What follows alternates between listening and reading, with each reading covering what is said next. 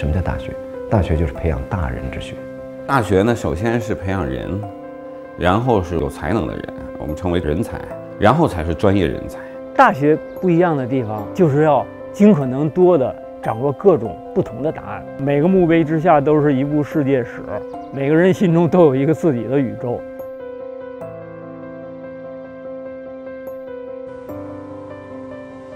大学是个求道的地方，这个道不仅是包括知识，还包括做人的道理，对这个社会的态度，所以是一个全方位成长的一个场所。我们专业教育学的是，我们希望掌握一个工具，赋予一个社会。就像孔子说的一句话：“君子不器”，对吧？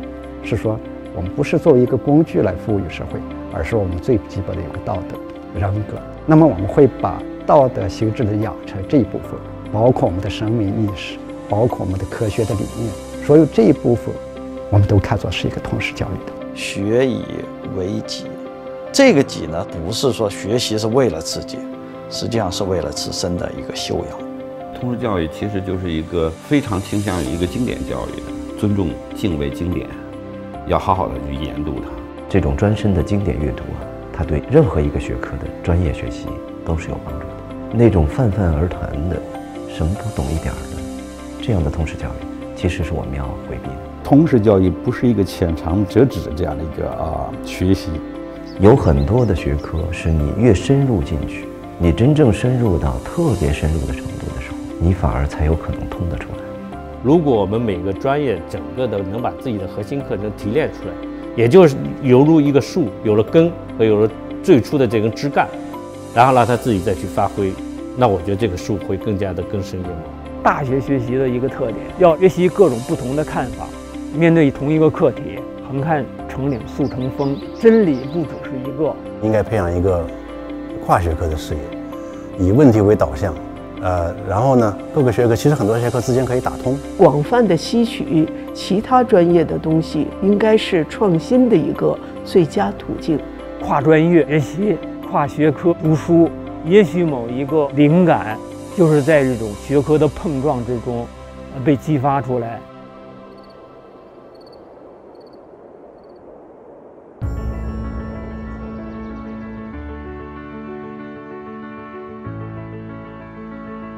教育呢，是在人忘掉了他学习的东西之后，依然留在脑子里的东西。韩愈讲这个传道授业解惑，讲的是一定要是在一个学生的心灵的土壤里和感情的土壤里才能去栽培。他学的不只是知识，而是知识怎么样能够化育到自己的生活里。学生们呢，选择了北大，对吧？他们一生中最好的几年。都是在这样的一个园子里边度过的。那么，我们作为北大的教师呢，我们呢要对得起这样的一种期待。这个呢，应该是我们作为北大教师的一种面对学生的严肃的承诺。在大学阶段，要努力的确立一个信念：我到底要成为什么样的人？当你踏入大学校门的那一刻，你想的是未来。你一定要从事非常务实的职业。我认为，教育在一半上的可能性就已经消失了。学以成人，或者说普遍性人格的建立，有一个特别重要的一点，就是人既能够深入到自己的时代，又能够超然于自己的时代。真正的这个光明，并不是没有黑暗的时候，但是呢，它不会永远被黑暗所笼罩。要有一种。呃，人格上的养育要有一种气局上的开阔，要有一种这个性情上的涵养，找到自己的理想，让自己成为更完整的人吧。大学没有一个统一的模样，不同的大学呢有不同的基因，永远不会放弃思考，这是北大的基因。想人之未想，做人所未做，才中家之堂，成一家之言。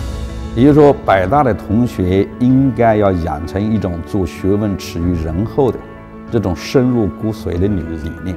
有可能正确的人生道路，一定是用力的方向。什么叫陶冶？陶就是制陶是要烧的，对吧？冶炼也是要千锤百炼的。眼界要高，手脚要低。切磋琢磨，不管是哪一个字，我觉得都不轻松。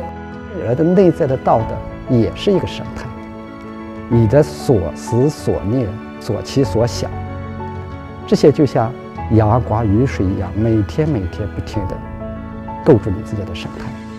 众里寻他千百度，猛然回首，那人却在灯火阑珊处。通过不懈的努力，呃，总有一天在你认为就是说一个不经意的时刻，你会得到这个真正的发现和收获。